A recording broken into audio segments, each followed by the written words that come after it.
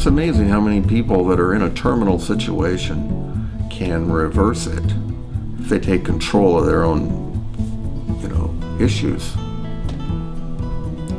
More people should do it. But we give it all up to MDs, the right prescriptions for drugs from drug companies that own them.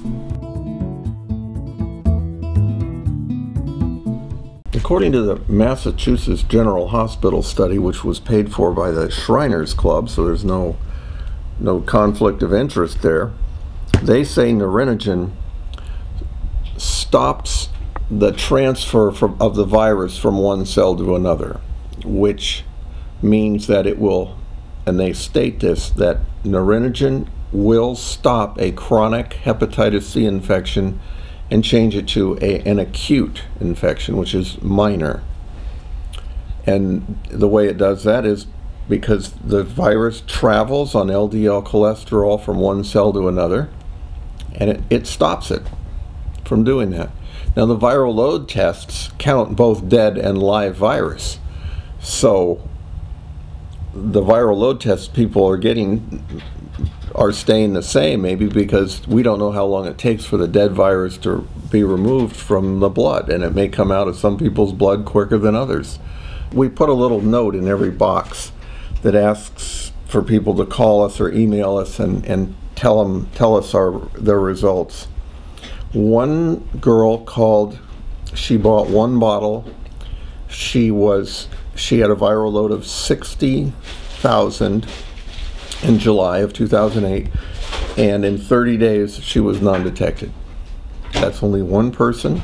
One man called who was 4 million. His went down to 1 million in six weeks. His LDL cholesterol also went down from 80 to 41, and he said that his ALT and AST were normal for the first time in his life.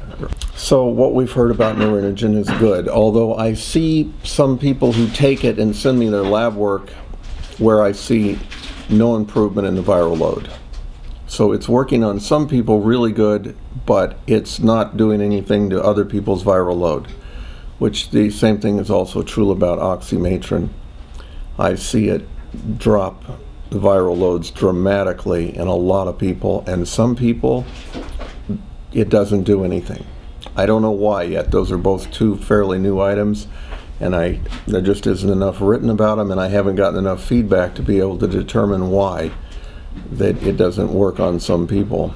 I am the only supplier, retail supplier of Naringenin in the world, and the reason is uh, I. Well, I, I, saw that study in February of 2008 showing that it stopped chronic hepatitis C. And I went out in the world and tried to buy some.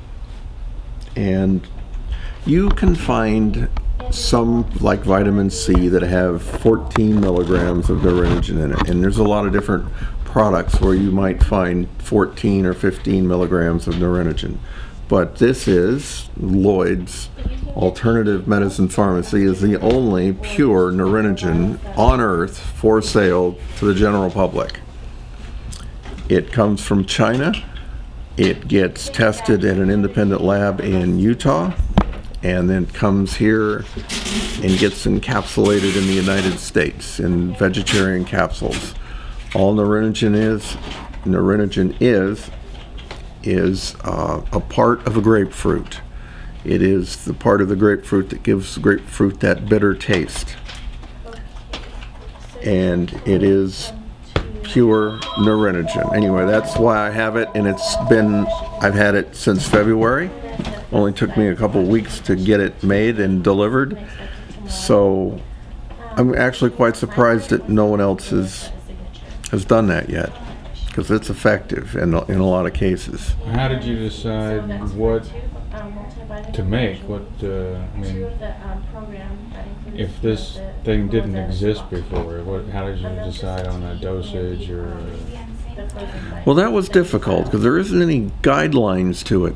So I called people like Dr. Marshall and Dr. Saporito and Dr. Medici, and uh, I talked to the the PhD at Douglas Labs who has, you know, just volumes of knowledge, just information you can't even believe about every supplement you could imagine. So I did uh, a, a good amount of research and got input from what I would call the world's greatest authorities on supplements before I bought it and had it made. And there's also a warning, it's on the label, it says if you're taking prescription drugs, don't use this product because Naringenin can cause your liver to slow down its ability to remove certain drugs. And on the website under Naringenin, there's a list of the drugs that take longer to leave your system. But if you have hepatitis C, you shouldn't be taking drugs anyway. If you get some, call me and tell me how it worked. Because I want to know. I want to share it with the world. We're doing hepatitis C awareness here.